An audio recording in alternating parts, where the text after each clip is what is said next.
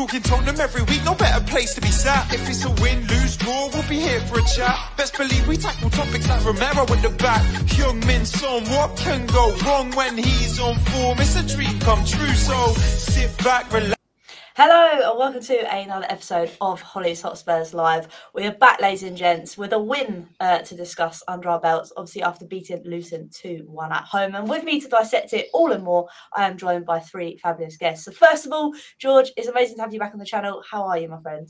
I'm very good. Thank you. Happy Easter to everyone that's watching and um, happy to be on discussing Spurs. Luckily, got a win, so it's all positive. All good. Indeed, indeed. And also, I'm joined by Seb as well. Seb, how are you?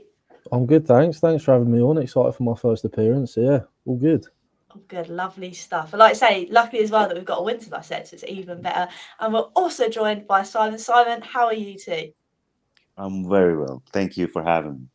Amazing stuff. But let's crack in into it because obviously it was a 2 1 win. Um, but George, in true Spurs fashion, we like to leave everything till last minute to seal the deal. But what was your kind of thoughts uh, of the game in all overall?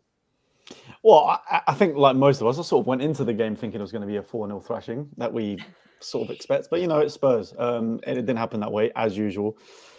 I think it, it maybe first half it was a case of the players thought that as well. They thought they would absolutely better Luton, and it just wasn't the case. I was actually very surprised by how they played. I wasn't expecting Luton to press us as much as they did, which I think maybe took the players a little bit by surprise.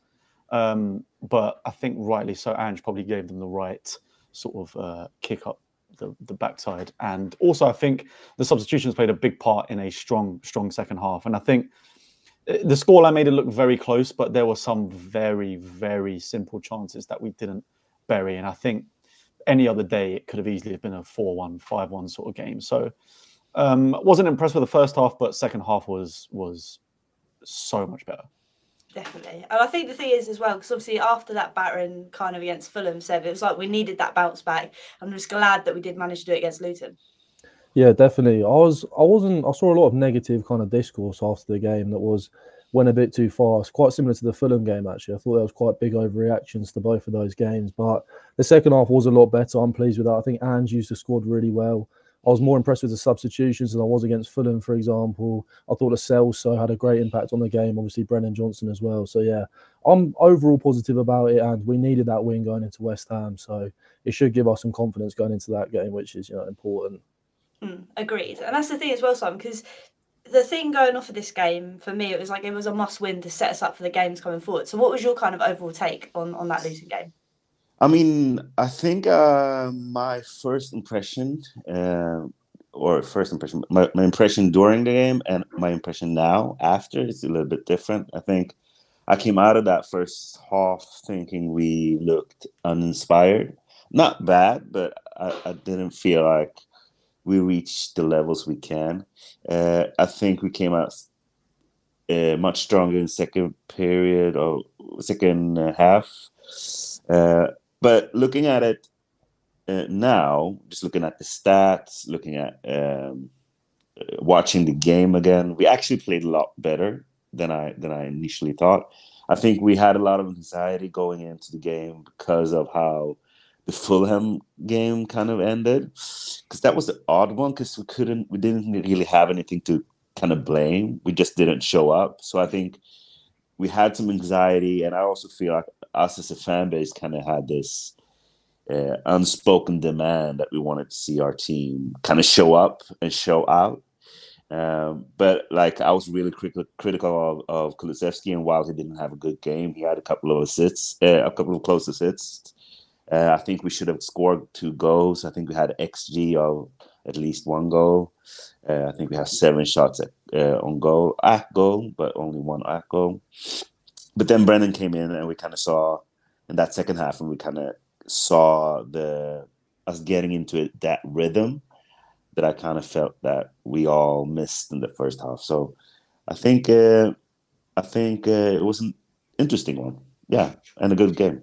It was, and I think they say it's that thing of we just wanted to turn up because against Fulham, yeah. I, I, think it's the first time I've actually been like, I can't watch this anymore because it's winding me up so much. But against Luton, it was like there was chances it just we couldn't find the back of the net in the first half. And George, I kind of want to start. It's going to be a bit backwards for the podcast, but I know after the game, and spoke about obviously there's a, a running theme that people are picking up on that in the first half we don't seem to be turning up, so to speak. Um, and Ange kind of squashed it and said there is no theme running on. I mean, do you kind of agree with Ange, or do you think it's just a weird coincidence at the moment? Um, I think I don't think it's a coincidence. I think there's been probably too many games now where we've started off too slowly, where it's just an accident that we seem to not be sort of at the gate straight away. I feel like maybe those first 10 games have set maybe some sort of precedent that we maybe shouldn't expect like a certain level at this stage under Ange. But I feel like during that beginning period of the season, we were pressing with a lot more of aggression, especially throughout the game, not just towards the end of the match. Um, whereas it just, for whatever reason, I think it's just it's been quite an up and down season. Um, we've got players going in and out, whether it's injury or if they're going off to different tournaments and stuff. And I think Can not, I add to that? Uh, go ahead, go ahead. No, because I think you're into something. I think Anne said, I, I think it said two things that I kind of, because I was thinking about this a lot. Because he, as you say, Halsey, kind of really addressed it in a kind of different way, and he and he said similar things uh, before, where he kind of sees it as we have this level of intensity that we have to reach, and then he kind of looks at the opponent and he expects them to tire. That's why he always expects us to score late goals and expects us to be stronger than a lot of our uh, um, opponents in the second half. And I kind of got this vision of Muhammad Ali, you know, taking a lot of hits against the uh, against the rope, just waiting for the other team to tire tiring themselves out. And he said something similar. Like he said, Luton came out really strong, and I kind of knew that they were gonna go was were gonna tire. So I think he sees it much more about as us not scoring our chances than us starting slow. Whilst my opinion have been similar to what George is saying. Yeah, I mean that makes sense. I think yeah, definitely something about that about the whole soaking up the pressure a bit and then sort of going at them in the second half. Like you, you could definitely see the Luton players towards the end of the, the, the, second half were absolutely gone, especially in their back line. And I think if it weren't for a couple of clearances from who was right back at the time, uh, I can't remember whoever was at the right that cleared the, a few crosses from Brennan Johnson. Um, I think if it weren't for those, it could have been a devastating scoreline for them with them being knackered. So, yeah, maybe it is about them just biding their time throughout the, throughout the match. But maybe think... we look better when other teams tired. maybe yeah, we look true. like we're playing. The thing is, I feel like we need to. I don't know. With these sort of games, it will probably come with time. But once the players are fully understanding how how to play this way, but I feel like there are just certain games like a Luton at home, or if it's Burnley at home, whoever it may be. No disrespect to those teams, but we should be battering these teams now. And I feel like we, you almost need to start off really strong to really set the precedent in the match to show that look, this is a force you're coming up against. Then you can almost be a bit more strategic and throughout the rest of the first half, play it a little bit slower, soak up some pressure, and then go again second half. But I think we're we're not necessarily getting out the gates the way we should against against certain teams. Mm. And I think that's the thing because obviously in three minutes, Seb, we saw that Chong obviously put Luton ahead, and it kind of puts that precedence again. What George and, and Simon are saying that we don't come out the gate strong, and then we tend to concede. I mean, the whole kind of play of that came from obviously Decky putting a, a ball behind Sonny, and it was just kind of a mismatch, and from there they kind of broke, didn't they? Yeah, it kind of felt weird because it seemed it felt like a bit of a fever dream those first three minutes. Like when we conceded that goal, it almost made no sense the way that Andros Townsend, however old he is, skipping past Bissouma so easily, and then just like our defenders in the box weren't picking up their men, and it just seemed so easy, and it was like the worst possible start for us. I think Kulusevski's pass was obviously so poor; it put us right on the back foot. So, yeah, I was, I was quite disappointed with Bissouma in that early in those early few minutes, and I think that set the tone for the opening twenty minutes for us, where we just we could not get going. It seemed like our players were walking through like sand or mud or something. Yeah, it wasn't great, but we actually have tended to start really well under Ange this season. I think with the new style of play, obviously the players learning it their first year doing it. When we've played such kind of negative football for the last couple of years, I expect it. Their bodies getting more used to it. We picked up a lot of injuries this season, so I do think it's you know the the positive signs in the first half of the season reassure me that heading forwards, we will we are going to start matches well on the range. It's just been a rough couple of weeks in that in that regard. Isn't that odd how our expectations have changed? Like now, if it's not, you know, if it's not like really exciting football all the time, we get kind of disappointed. Yeah. That's so fascinating. That's why I think those first 10 games have sort of written us a little bit because yeah. all of Ange's yeah. previous teams, it was like they're going to really struggle at the start and then they're going to click, whereas it almost seemed to click too quick. And now we're, we're yeah, and I'm not excluding myself. I'm, I'm the same. I'm like, oh, underwhelming half. And then I look at the stats and I'm like 70% possession, seven, seven shots on goal, two chances of. Uh, really big chances I mean, yeah, to score. Werner one on one pretty much, and then Son hitting yeah, both. Son hit and then the two chances after that. It was just like yeah. And my first thought was like, ah, underwhelming half, man. And just compared to where we came from, it's so I don't know. I find it fascinating how our brains kind of just uh, get used to something. And I think that's the thing. I think, and I know that I'm going to bring up certain players in a minute, like the likes of Decky and the likes of Werner for some people, that they aren't necessarily hitting the heights we want them to. But Simon, come back to you. It's kind of that level of expectation we've kind of got. Like you're saying, with obviously, you kind of forget how many goals we've created in that first half, but because they're not at the back of the net, you kind of disregard them. Yeah, I think George really put his finger on something. I think the way we've started kind of warped and also I think something good, which is our um, excitement for the future. Kind of just want a lot of things to be here right now, and so it's it's easy to kind of and, and, you can see how close we are to to um, to challenge, and so we get this frustration about um, we're like children. We can see the candy through the through the window, but we can't touch it. Um, and so I think we have that issue with a lot of our players, like how we judge players like um, Kulusevski. Like if he's not doing the thing that we need, which is right now our wingers to play in a certain way, we get really frustrated. So we don't see he him um, delivering those two uh, brilliant passes to Werner and Son, like we talked about. We just see the mistakes. Uh, we get we got so used to seeing Bissouma play the way he did at the start of the season. So now all we see is not him playing equally as good while still being, um, I think, solid. Uh, so that chance uh, you you mentioned for, uh, where he didn't um, close Townsend down. I mean, I'm absolutely with you. He made a mistake, but Sarr also made a mistake, and Son made a mistake, and and a lot of stuff happened in that situation, but which me, just like you, only see Bissouma not playing to the level that he can. And so I think we, we do have this, um, we're in this odd time period where we can see where we're going, but uh, we're far away from the disaster that was last year, but not close enough for what we can be yet. So, yeah, uh, sometimes it kind of it doesn't affect the team or the reality of uh, the, the brilliant future, future of this team, but kind of distorts the uh, narratives and the discussions around it. Mm. And I think that's a great point in terms of, like you say, it's we're so hard on those players that make their mistakes. And don't get me wrong, it's so frustrating when you see that you can you know the potential they have. And I think George, that's why with Decky at, at points, it's so frustrating because you know how good he can be. I mean, there's that debate whether we try and fit him into the system or we play him more through the middle. I mean, that that's still up for debate as well. How do you kind of see a role for Decky in this team, or is it just give him time, he'll do his thing?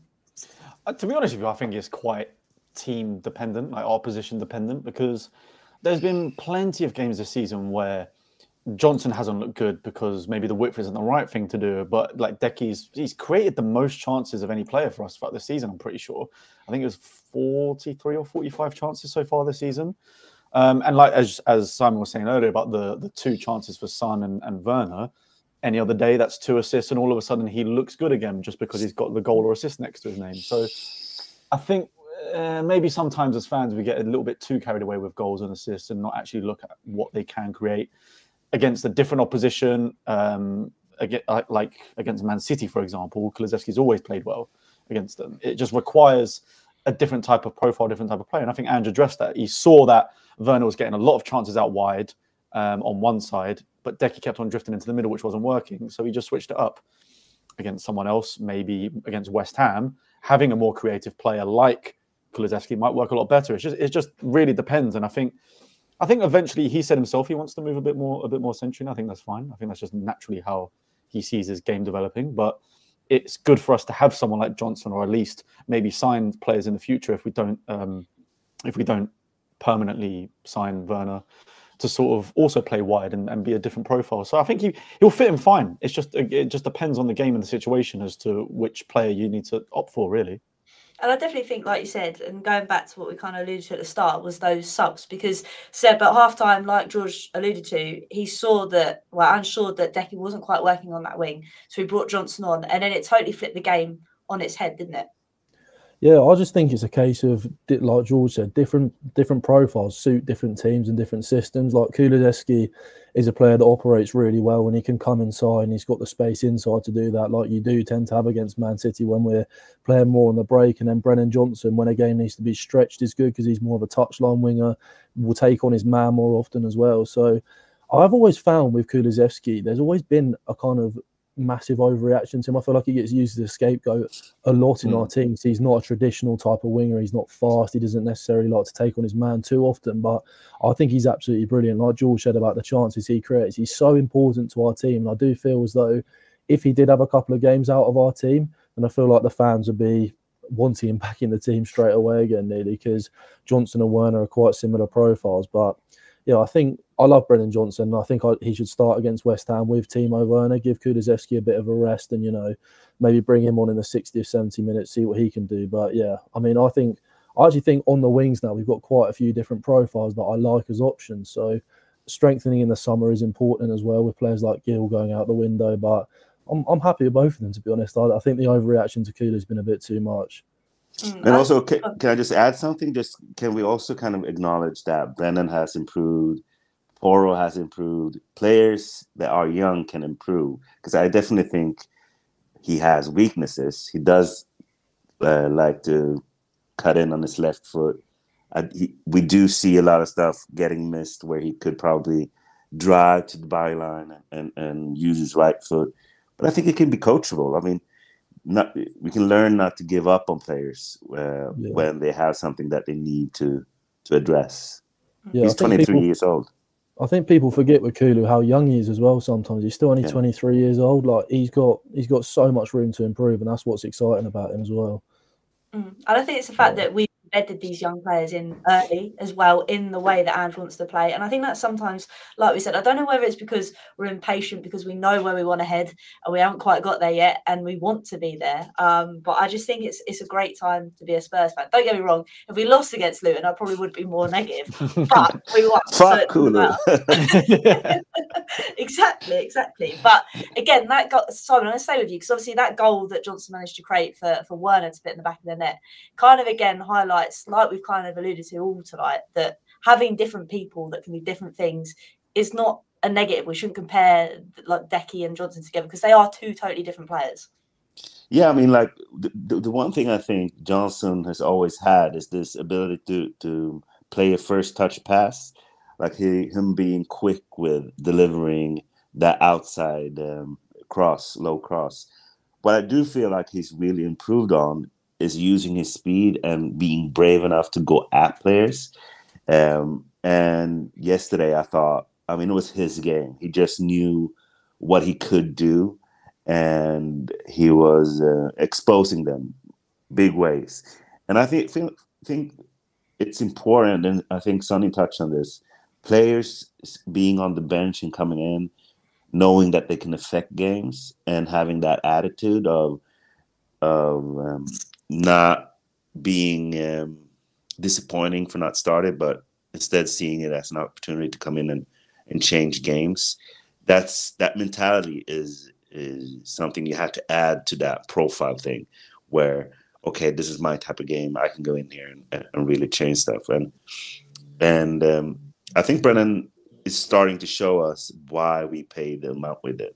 I think, of course, you have to add on that tax for him being homegrown, but the speed he has and his instincts and his ability to be coachable this quickly, I mean, if he can add a shot, like a real dependable, clinical finish, he could be.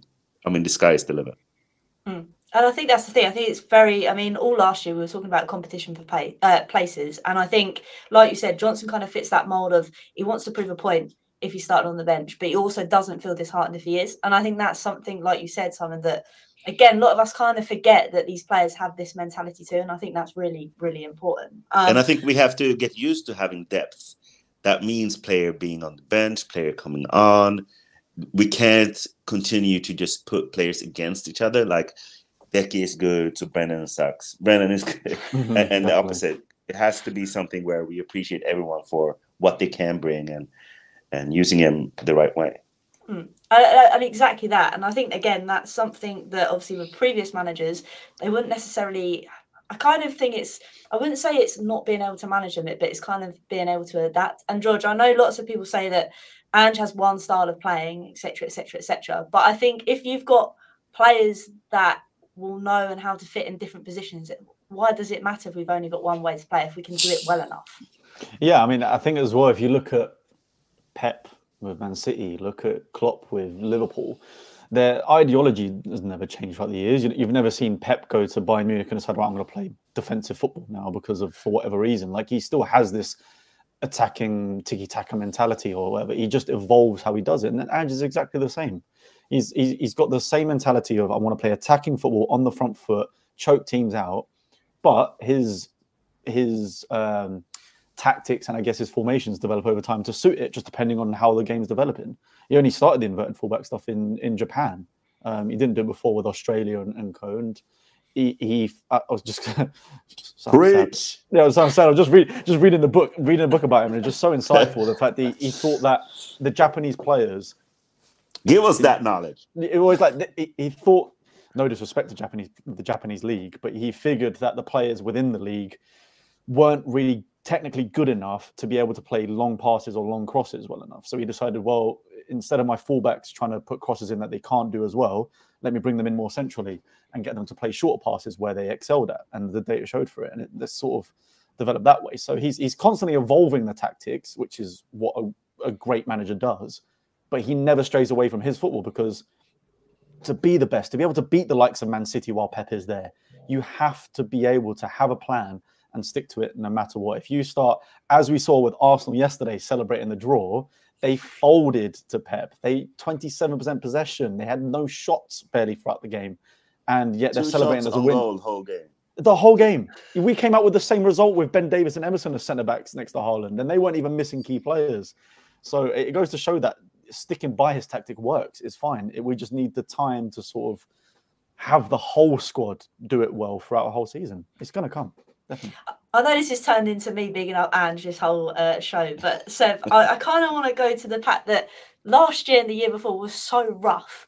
I can't fathom how people are still contemplating the fact that oh my god, he's only got one way of playing. Oh my days, it's going to end in disaster. Like I, I can't fathom it. I don't know. Like how how do you kind of see it, Seb? I'm I'm exactly the same as George. I think you know Pep and Klopp are the two best managers in the league, and they have the exact same philosophy as Ange. And Ange has come out multiple times and said, you know, if you don't like it, then it doesn't matter to me because I'm going to play the way that I play it, and it is not going to change. And I think the thing that people also forget is that this still isn't really an Ange Postecoglou squad that we're seeing. It's probably an Ange starting eleven now, or definitely getting there.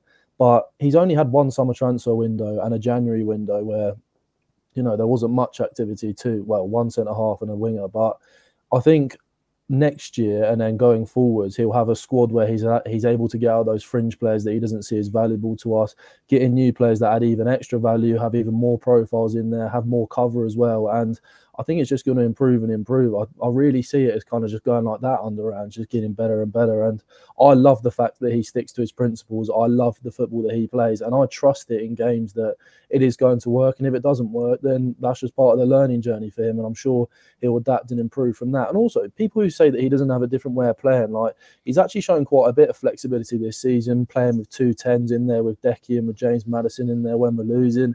We also, he, I also noticed about him recently. There's a lot more Like for example, I think in the second half against Luton, Porro was overlapping a lot more than coming inside, and Udogie was bombing on a lot more. So he does definitely have different ways of playing. I'm, I'm not worried about. It. He even went to a the back three at the end of the United away match when he Yeah. played Dragusin's first game just to see it out. Yeah. So he knows how to adapt.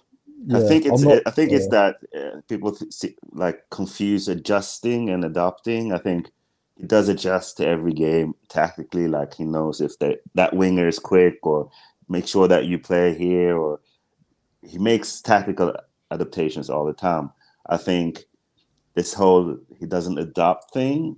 I don't know if okay, uh, uh, I, I might be like a tinfoil conspiracy not here, but I feel like it's a little bit of lack of respect because people don't tell Pep or Arteta adopt. You need to adopt. You're being naive. And if they used Pep and Arteta as comparisons, I mean, they've been there for seven years, nine years, fifth, five years. I mean, they might change tactics or change stuff over the seasons, but not in the six first months in charge, right? Like you, mm-hmm. you first we need to learn what we need to forget, right? That's how I see. it. Like It also took Pep a year to learn the Man City squad That's- as that's well. what I mean, like, it. so everyone let's let's first learn this and let's if if we'll have long term goals, let's not be afraid to to sacrifice uh, some short term things to be able to reach those long term goals. That Chelsea game is a perfect example of that. Like I don't really care what happens with this result. The the the impact of playing this way will be much bigger if we stick to this idea. And we can see now how that game became kind of a flagpole, something we can look back at and like, okay, that's when I really knew this was real. Like th- there's no compromise to this journey. And so telling him he needs to go to back three or do this and that now in his first season seems a little bit like um, counterintuitive to me. Uh, I just I don't know what it is. I think it's just uh, some. So I don't want to brand every every fan as uh, someone that's impatient, but it has been a long time since we have tro- had trophies. But I'm telling you now, I am so glad I'm not putting up with the last two seasons again because that was rough, and I will sacrifice not having that trophy for a little while longer if it meant that we we have Ange and, and the process that keep going. But I'm going to bring it back to the to the Luton game because Simon, obviously, the man, the myth, the legend, uh, Sonny went on the score sheet once again. I mean, we praise Sonny all the time, but again, it was a great finish from him against Luton. Amazing finish. And I think he will be disappointed he didn't get at least maybe two more. Uh, extremely unlucky. I don't know about that goal line. Maybe that, that wasn't Sonny, right? That Was was Sonny? Johnson. That, That was Johnson, that was. Johnson, yeah. Uh, but he hit the post Mhm. twice No. in one go. twice, yeah. Um, but he had that chance in the middle too, but it, he didn't hit the post. But it was a good chance. Anyways, he uh, goes to t- how many goals? Two hundred. I think I What? wrote it down somewhere. Um, but 160? 160. There you go. 160. So he's he's reached the top four. Spurs already, uh, or is it top five? Spurs Fifth. all time Fifth spot. fifth. He will reach third, I think. Uh, 208 goals is third before he retires uh, from Spurs. I think he will become before he retires one of five Premier League players with more than 150 goals. Uh, yeah, I mean, I I look at him and the fact that we had him and Kane at the same times, him, Kane, and Bale at the same time, and I'm like, we're so lucky that we we're fans during this era. Um, yeah, just amazing. The fact that he's got this innate ability to take games on and know when it's important and to show up, and no matter if he plays on the wing or through the middle. Yeah, I, I just admire him endlessly. And I think he is like obviously the sad times when Kane did leave, but I think he is that cornerstone uh, at Spurs at the moment in terms of the player, the, the captain. Um, uh, he just really is Tottenham. And Georgia, it was a lovely little layoff from Johnson again. May I add, I'm singing Johnson's phrases. Um, but it, it was just a calm, cool finish, especially obviously it was the 80. I think it was the 85th minute as well, wasn't it? Just to seal the deal. I think so, yeah. Yeah, I think, look, Sonny you saying, he he was waiting for that goal the whole game. Should have potentially had one earlier, but he got it in the end. And I think I, I just love him as a captain this year. I think so many people probably questioned it at the beginning because they might have thought, does he have maybe the aggression or whatever the, the necessary leadership in that sense? But he, he's taken on so so well. You see when we lose the games like the Fulham three 0 taking on so much responsibility, saying no, no, we didn't turn up, I didn't turn up, we need to do better. And then he, I think Simon alluded to as well that he just takes the game by like the scruff of the neck and realizes that no, no, we're, we're going to keep fighting, we're going to keep going. The energy he has throughout the games still is is unbelievable. So um, I, I, love him so much. He's, he's, just an unbelievable player. So I can't say enough praises about him. I'm so happy he's at Spurs, and I hope it's he's so hard. I hope he retires here, and he won't go into coaching, but I hope he goes in, like just stays as an ambassador and is just there all the time because he's the best man. Yeah, he is. He really is. And I think again, like like uh, Simon and Georgia said, said when that ball it not one post but the other post, you knew he was going to find that goal in the end of it.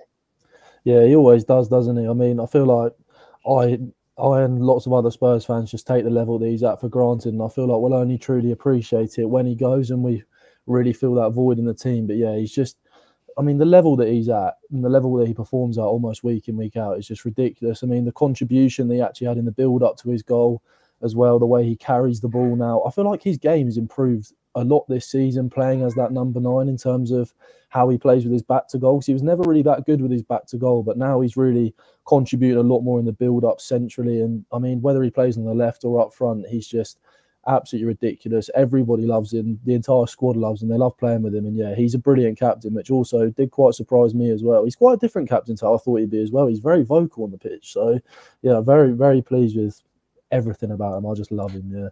Yeah. it's a vibe. And I think that's the thing. I think I probably at the start of the season was thinking, is is Sonny going to be the right person? But clearly, uh, this is why I'm not the manager uh, because he is just Tottenham through and through. And I think we needed someone, a player that's loved not just on the pitch but also off it. It is a real true testament. He to, seems to to, be his evolving character. his game similarly to Ronaldo as well, going from like a left wing.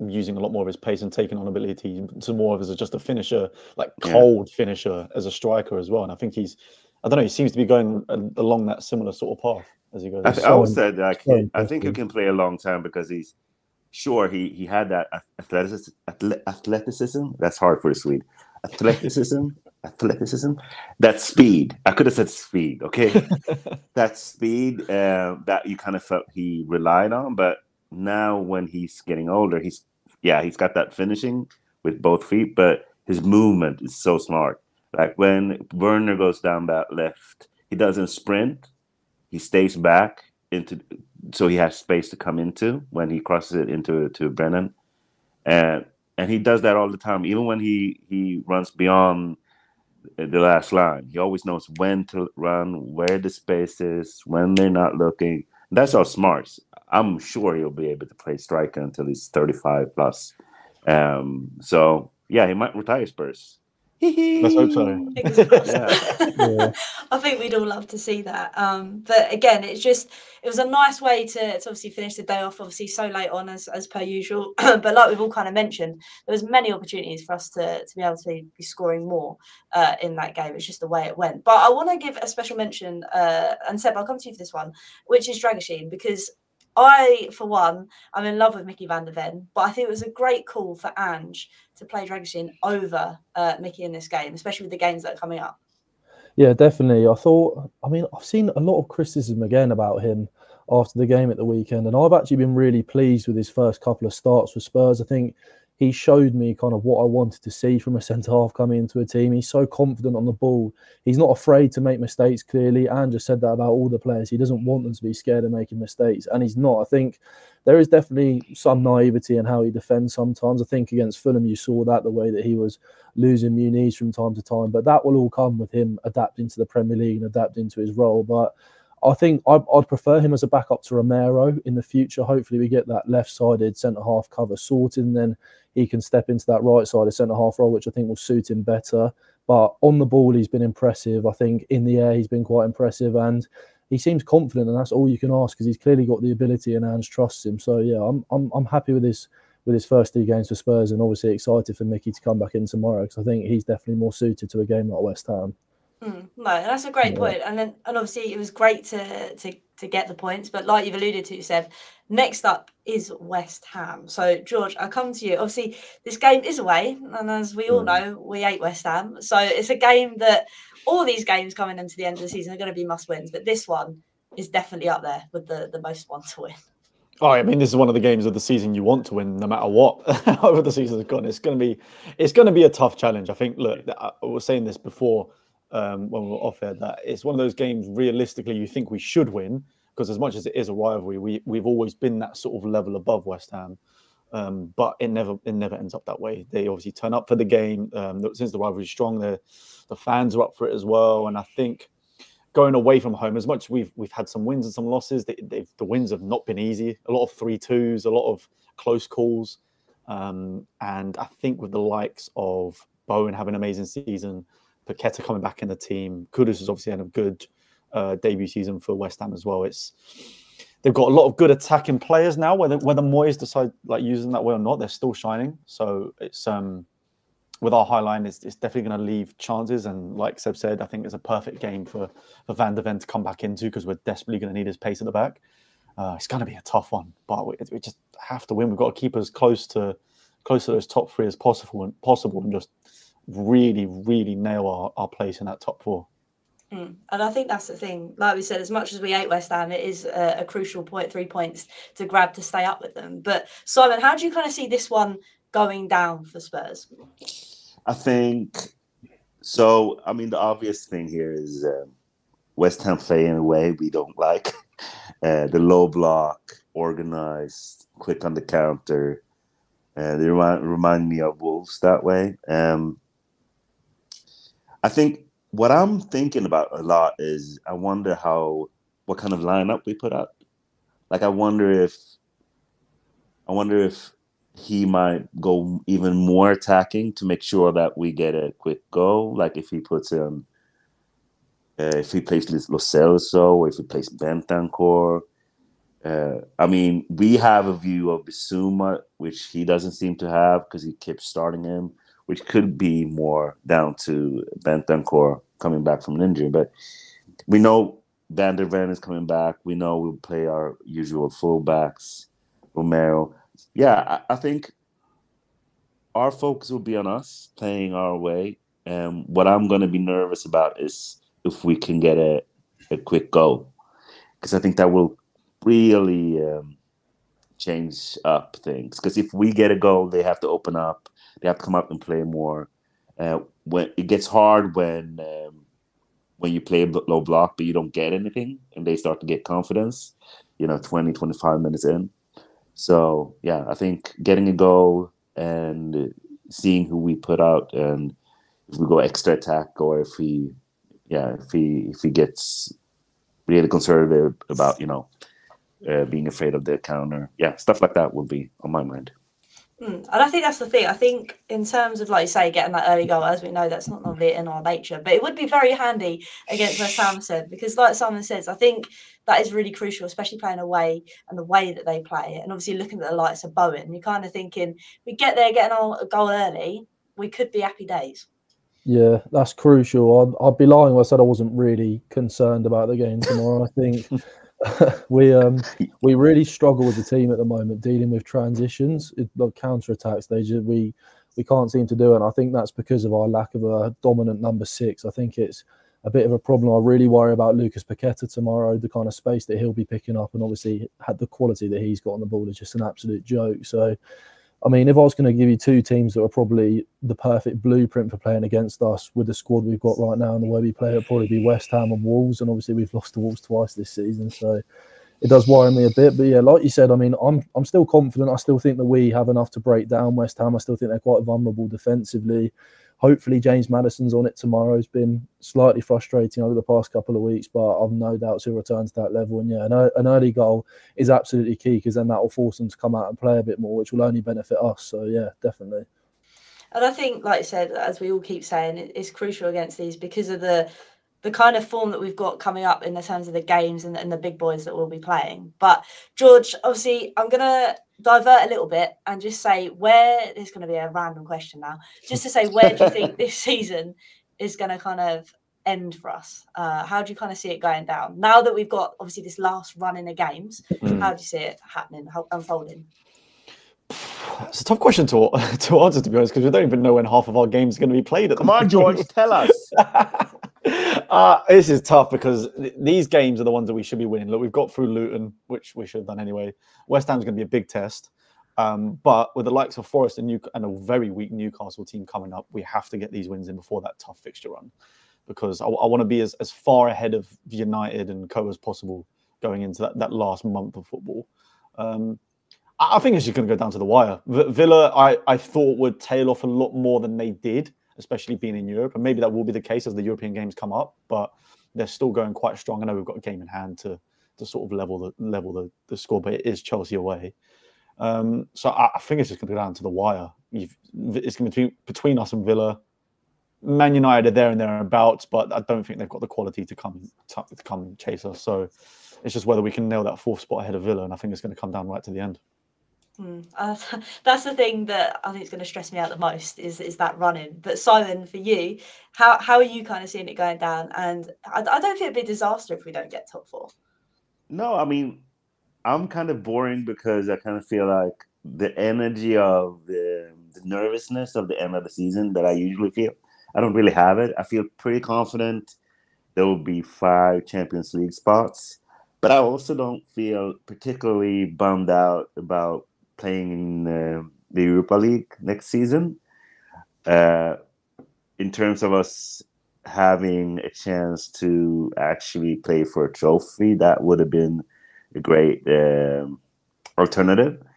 I think it's good Um, development for players as well. To be honest, yeah, so- we, we're going to have a lot more rotation there than we would other teams. Exactly, and I feel like squad. exact- youth can play more. Exactly like, like you say, it's like the. I, I just feel like the the the nature of this project. Uh, I'm so excited and so staunchly behind, and in, uh, behind Ange, and uh, uh, so con- convinced that it will lead to sustained success, and us competing in all the competitions we want to compete in. So I'm I'm so kind of um, I'm not as bothered about exactly where we, or maybe I'm just in the cult and and just my god and I can't think of myself, but I'm so into what he says that way. Like it doesn't matter if we get one trophy if it's not sustained. It doesn't matter where we if we get Champions League if we can't compete. I'm I'm so into that mindset. So uh, I do think we go get fourth though. I do think Aston Villa will tail off. I think we have a game in hand. Uh, Manchester United look crap.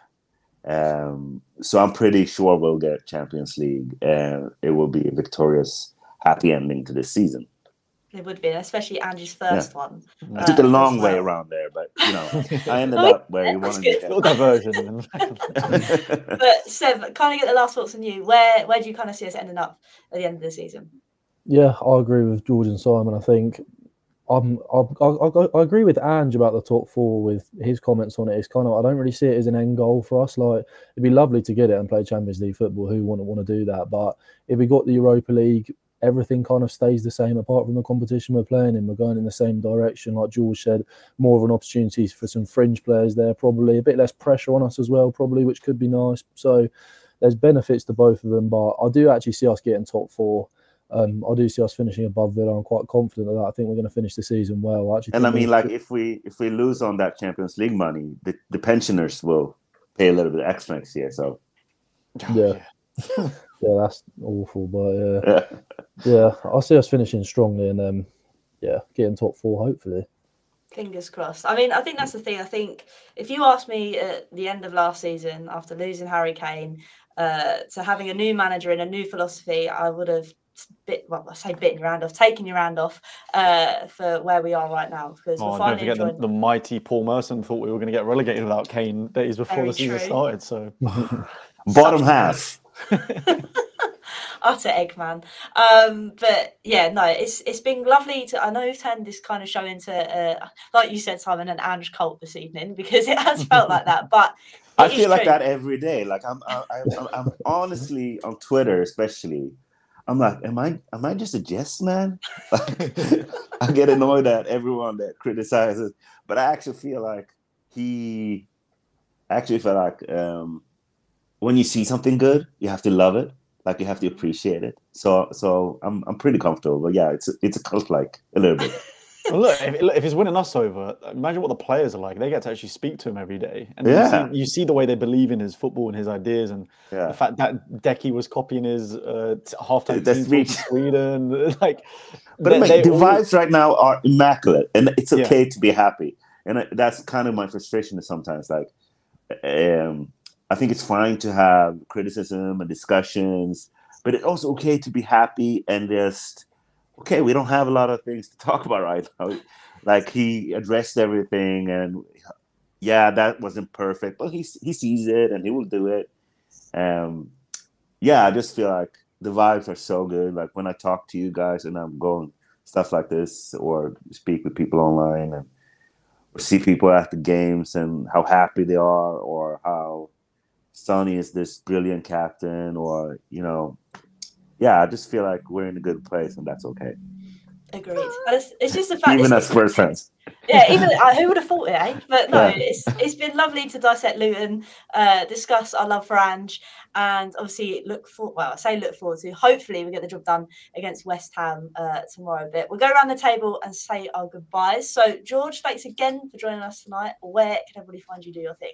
Oh, thanks again for having me on. I love talking about Spurs, especially in positive, much positive manner than the- say after the Fulham game. So, no, happy to be in. Yeah, it's just Georgia Killer across all platforms, both in Instagram, TikTok, YouTube, the lot. So yeah. Lovely in. No, thank you, George. And also, Seb, thank you again for coming on uh, tonight. Where can everybody find you as well? Yeah, thanks for having me on. I really enjoyed it. First time, obviously, really nice to chat Spurs in a positive way, like you guys said, much more positive than on the social medias. But yeah, just Seb on football on TikTok, and then you can find all my other socials there. But yeah, appreciate it. No, cheers. Thank you. And Simon as well. It's been lovely to have you on. Uh, where can everybody find you too? I mean, before I talk about myself, I have to say, Halls, what an amazing host you are. Thanks. What an amazing host. The way you you segue and you, you jump around. I'm so happy I got to see that in person. Thank you. Um, George and Seb, you're beautiful men. Uh, I You too, believe you in too. you. Uh, I'm so happy that you're part of this fan base. Uh, you find me on right there. You see my name? That We way, I got it. Yeah. That Twitter at that name. Jesus Christ, it's hard. Yeah. Um, and then there you'll see my takes and my HT8, the infused spelling errors. Uh, yeah, that's all. I'm sorry. Legend. No, thank you. Like I say, thank you to everybody in the chat. Um, appreciate everybody's uh, messages and things tonight. I did see some of them that did make me giggle, uh, but I'm as I try and navigate what's going on, I'm getting worse at trying to pull things up. So appreciate you all chatting in. Uh, like I said, uh, we play tomorrow. So fingers crossed we win. Uh, on Wednesday, I'll be joined by Wes for the Hotspur Huddle. Well, we'll dissect that West Ham game and look ahead to the game at Forest. My word, they're coming in thick and fast. Uh, and then because we obviously play on Sunday now, uh, we will have Hollie's Hotspurs next Monday. So make sure you subscribe and all the good stuff so you don't miss that. And make sure you go follow these guys as well. Um, and until next So you're time, doing two shows this week? yeah, man, it's it's pretty Oh my rough. God. Big week. I can Good times to be one. Haas. Whoa. Yeah, it's too much, man. I mean, I say Easter, that's so I've done nothing over Easter, so I can prepare myself. Um, but no, I appreciate you all guys. Uh, until next time, come on, you Spurs.